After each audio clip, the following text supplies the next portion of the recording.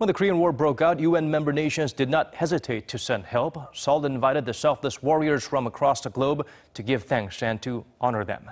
Kan Hyeong-woo takes us to the scene. South Korea's Ministry of Patriots and Veterans Affairs held a ceremony Friday morning to commemorate the United Nations troops who fought in the Korean War, as July 27th marks the 65th anniversary of the Korean War armistice. To remember their sacrifices, the government invited 2,000 people, including UN veterans, foreign ambassadors, government officials, and South Korean citizens to the ceremony at Dongdaemun Design Plaza. After the 23 national flags and the UN flag were marched in, the event began with Korean national anthem and a moment of silence for the fallen heroes. Two foreign soldiers who defended South Korea were honored for their sacrifices in particular.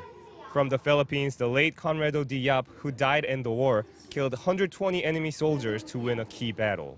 His daughter accepted on his behalf the Taeguk Military Merit. my father's death is not in vain because the way I look at Korea now, it has progressed so much. It is really amazing.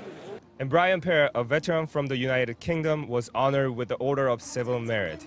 He contributed to establishing the Korean War Monument in London.